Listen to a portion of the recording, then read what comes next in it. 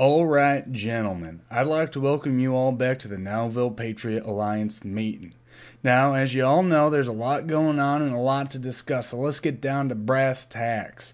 Like we talked about last week, here's the proposal we have for the Sheriff's Department asking them to make us official deputies so we can patrol our city schools in order to provide a proper first response for any more of those school shootings. It's all there, saying how we will be properly trained and properly armed, and we'll drive by the school every half hour and we'll be on guard when the buses pick up and drop off those kids. Um, Earl? Yeah, Tim. Yeah, um, I don't know, man. I don't think those parents are gonna like us standing around their kids with guns out. And why not? Because I think they think we're gonna shoot their kids or protecting their kids. They'll know that.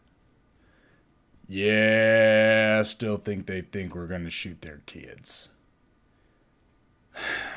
Look, Tim, these are reasonable people, and they know that the only protection against a bad guy with a gun is a good guy with a gun.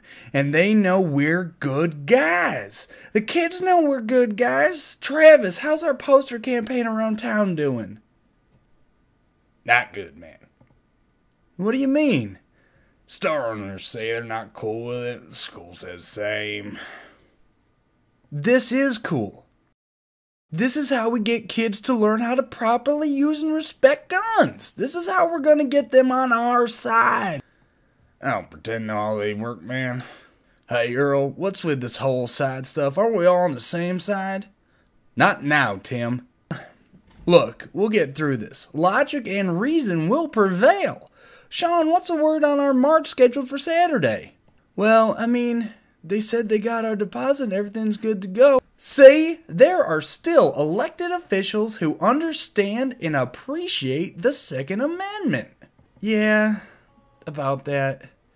They said everything was good to go, but they asked us not to walk around town hall with our guns out. Why in the hell would they expect us not to have our guns out at a rally to support gun rights.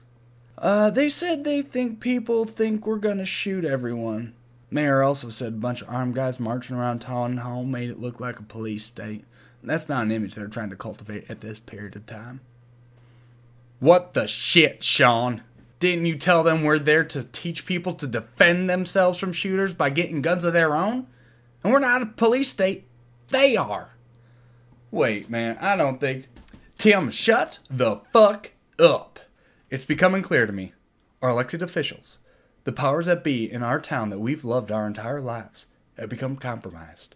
Our rights, our freedoms are under attack by people who would see us driven like slaves before them.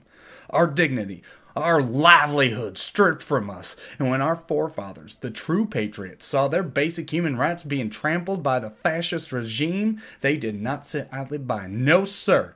They went to the streets and they pushed back. This is it. This is when we make our stand. Make peace with your loved ones and your maker, because we're going to town hall. We're not leaving till freedom rings or every one of those sons of bitches looks like Swiss cheese. Man, I'm gonna go get a pack of smokes from my car.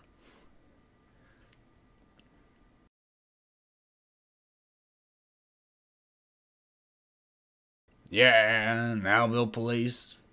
Yeah, it's Travis Studemeyer again. Yeah, Earl's talking about shooting up the town hall again.